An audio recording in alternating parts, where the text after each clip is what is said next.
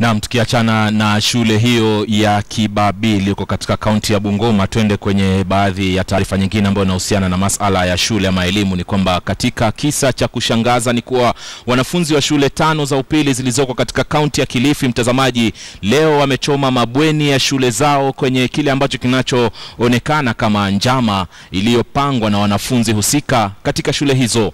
Mkasa huo wa moto ulitekelezwa usiku wa kuamkia leo moto huo ukihusishwa na mipango ya wanafunzi ya kutaka kuhujumu kufanyika kwa mitihani ya mwisho wa mhula. Kisa hiki kimelaumiwa pakubwa na sekta ya ama wadau katika sekta ya elimu, huku uchunguzi kuhusiana na kisa hiki ukiendelea kwa sasa. John Juma anaarifu kutoka kaunti ya Mombasa. Ni taswira ya hasara kwa wanafunzi hawa. Wamechomekewa sare za shule, vitabu na vitu vinginevyo vya kuwafaa masomoni.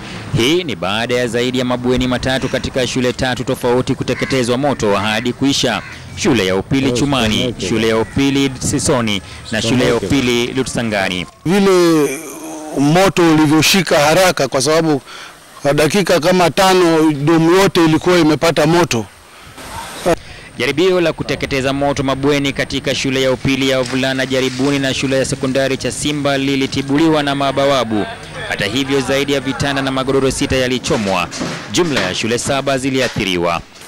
Tumekuwa na, na, na, na, na tetesi tangu jana, kwa sababu jana jioni kama saa mbili tulikuwa tumepata habari kwamba uh, shule jirani ilikuwa ime inachomeka uh,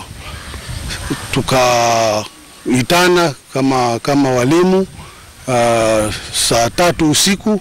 Maafisa na walimu wanashuku uchomaji huu umetekelezwa na baadhi ya wanafunzi wanaoogopa kufanya mtihani wa mwigo wa kaunti ya Kilifi ulioanza Jumatatu wiki hii.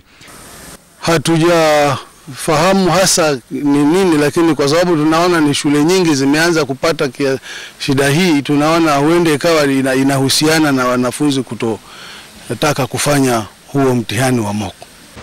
Misururu ya visa hivi vya uchomaji ilianza saa mbili usiku huku kisa cha Lutsangani kikitekelezwa asubuhi wakati wanafunzi wakienda kupata staftahi. Tayari wanafunzi wa kike watatu wametiwa nguvuni kwa kushukiwa kuwa wapangaji wakuu wa uchomaji. John Juma, KTN, Kilifi.